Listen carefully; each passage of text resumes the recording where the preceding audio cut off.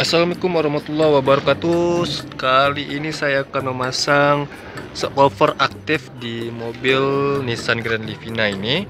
Tapi pemasangan yang saya akan lakukan ini sebenarnya sama saja dengan pemasangan ke mobil-mobil lainnya Dan subwoofer aktif yang jenis lainnya juga. Ini sebenarnya subwoofer saya rakit sendiri tapi power kitnya ini power kit yang saya beli di toko listrik. Dan di sini untuk power kitnya ini ada yang rem 12 volt atau positif dan 12 volt yang negatif. Ada RCA in atau line in atau audio in ya LR kemudian di sini ada untuk pengatur volume dan frekuensi bassnya.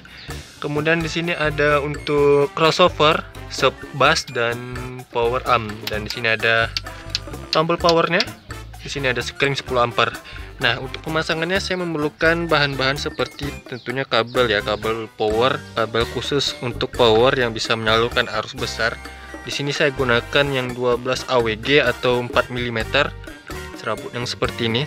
Bisa gunakan yang 8 AWG atau 4 AWG 12 AWG ya minimal ya. Tapi sebaiknya yang menggunakan 12 AWG kalau 8 AWG itu terlalu berlebihan penggunaannya karena power ini pun tidak mengkonsumsi daya yang sampai 1000 watt ya.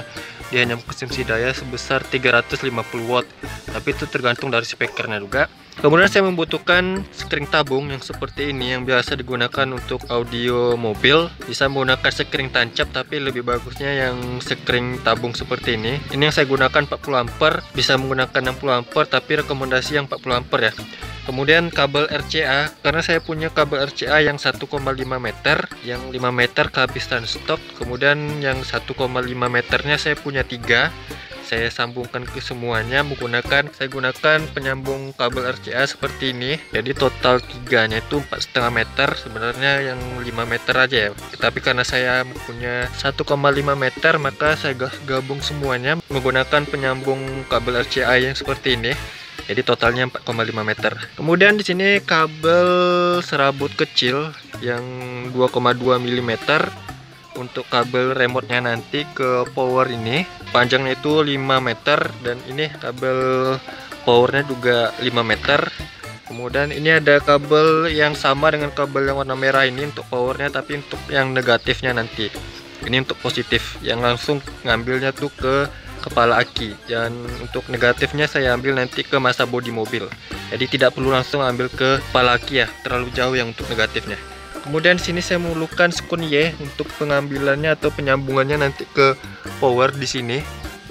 Tidak menggunakan ini juga tidak apa-apa ya. Sambungkan saja ke sini tapi lebih bagusnya menggunakan skun. Kemudian skun bulat untuk ke kepala akinya nanti. Lalu ada beberapa selongsong bakar. Kalau tidak ada selongsong bakar bisa menggunakan isolasi biasa Oke jadi ini adalah bahan-bahan yang saya butuhkan. Kemudian kabel-kabel ini saya akan selipkan dulu. Kabel power yang merah ini saya akan selipkan ke sana Sampai menuju ke ruang mesin, ke kepala aki. Sama halnya dengan kabel ini untuk kabel remote-nya nanti Saya selipkan ke sini Sampai menuju ke head unit. Lalu kabel RCA saya selipkan juga sama dengan halnya kabel ke, untuk remote-nya Sampai ke head unit lalu kabel yang hitam ini ke masa bodi mobil nanti saya akan cari baut yang menyatu atau tertancap ke masa bodi mobil. Kemudian ini sekernya nanti saya letakkan di ruang mesin juga. Oke saya selipkan dulu kabelnya. Jadi di sini untuk kabel power positifnya kemudian kabel RCA nya dan kabel untuk remote nya sudah saya selipkan di lantai mobilnya sini. Saya selipkan dari sini. Yang kabel RCA itu langsung menuju ke head unit sama kabel remote nya kabel powernya yang merah itu saya tujukan ke ruang mesin. Saya selipkan dari sini. Yang awalnya dari sana selipkan ke sini ke sini. Kemudian saya selipkan lagi ke sini yang remote dan RCA nya ke head unit menuju ke head unit ini dia kabelnya. Ini yang kabel biru untuk remote nya kemudian kabel RCA nya ini kabel RCA nya ya. Ini nanti saya sambung ke head unit. Kemudian untuk kabel remote nya ini saya sambung ke kabel antena kontrol amplifier atau bisa ke kabel ACC pada head unit itu tergantung ya. Biasanya di head unit itu ada untuk kontrol menyalakan uh, power amplifier tambahan. Ini frame head, head unitnya sudah saya lepas kemudian head unitnya juga saya lepas. Di body head unit ini ada petunjuk untuk kabel-kabelnya. Yang kabelnya itu auto antena output warna biru di sini blue. Berarti dia yang seperti ini kabelnya nah ini dia warna biru. Ini adalah untuk kontrol amplifier atau kabel yang disatukan ke remote power. Kemudian untuk kabel RCA ini saya sambung ke audio out pada head unit. Biasanya di sini ada untuk subwoofer. Nah ini dia. Untuk subwoofer yang ini ini dia yang warna biru ini. Tapi hanya satu atau single RCA nya saya ambil saja di sini yang yang RCA RCA line out ini. Karena dua soket RCA ya. Makanya saya sambung saja di sini atau bisa sambung ke subwoofernya sini. Tapi cuma satu saya ambil di line out RCA nya saja yang di sini. Untuk audio out L dan R. Ini bagian rear belakang yang satunya lagi bagian depan. Yang ini. Tapi saya ambil bagian yang belakang saja untuk remote nya nanti ini saya ambil ke warna biru ini di sini tadi. Kemudian RCA nya saya ambil di rear line out audio out R dan L.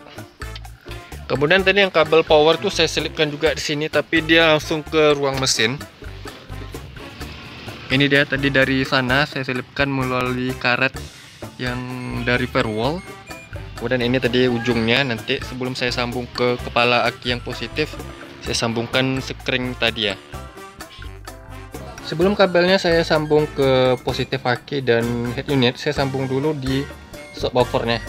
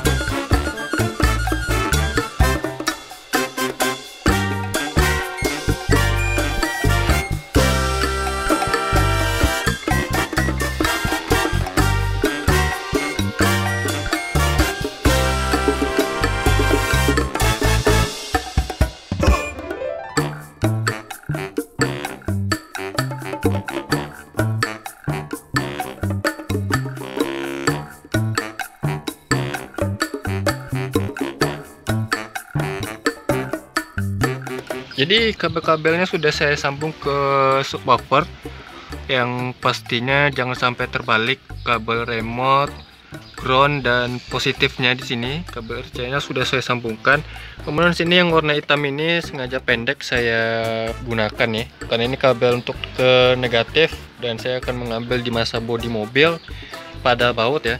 Sini ada baut dan baut ini menyatu ke negatif aki mobil atau menyatu ke masa bodi mobil maka ini saya sambung ke sini pendek saja sebenarnya. Saya cari yang terjangkau saja di sini dan di sini ukuran bautnya 14 karena saya tidak punya skon yang ukurannya 14 maka saya sambung seperti ini pada ujung kabelnya. Ini saya buka kemudian saya rekatkan ke board ini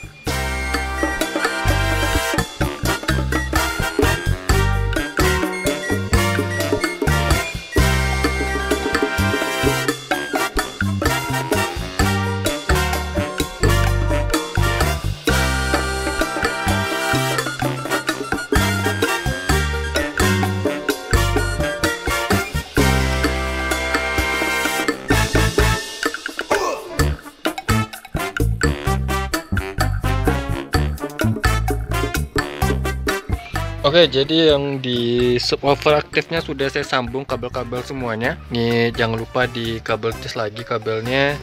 Dan subwoofernya saya akan letakkan di bagasi mobil. Lalu untuk kabel remote dan kabel RCA-nya sudah saya sambung. Ini kabel RCA-nya sudah saya sambung seperti ini. Kalau misalnya di head unit itu tidak ada soket RCA, bisa sebenarnya disambung ke kabel speaker, tapi menggunakan RCA adaptor ya untuk menyambungkan kabel RCA ke kabel speaker harus menggunakan RCA adaptor. Dan untuk kabel remote-nya saya tidak ambil di kabel ini tadi ya auto antena output karena ternyata auto antena output itu untuk kabel antena saya mengambil saja langsung dari kabel ACC pada head unit. Ini kabel ACC nya di sini yang warna merah ini. Saya ambil dan saya jumper ke kabel ACC pada head unit nah RCA sudah kemudian ini head unitnya saya pasang kembali. Satu kabel lagi yaitu kabel positif aki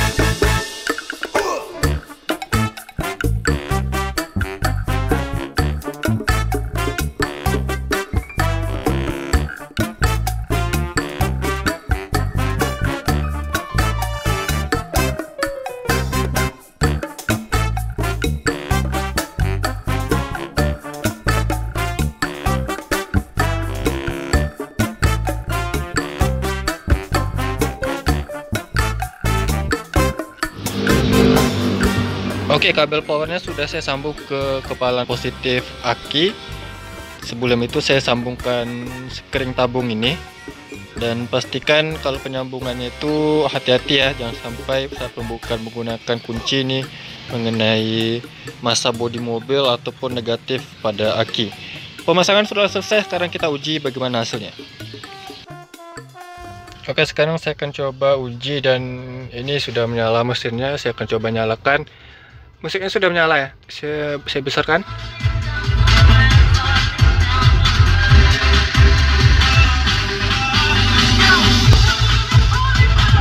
oke terasa terasa bassnya ya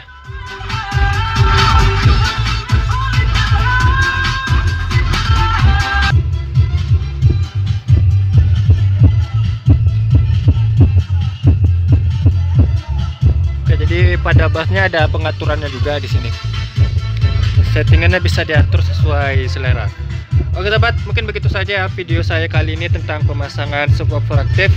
Semoga video ini bermanfaat. Jangan lupa bagi sobat yang belum subscribe channelnya Fozan Project Kreatif, saya menuntut subscribe channel ini agar saya bisa terus memberikan tips, trik, info dan tutorial lainnya kepada sobat. Jangan lupa juga untuk like video ini, komentar di bawah apabila ada pertanyaannya. Sampai jumpa di video berikutnya. See you next time.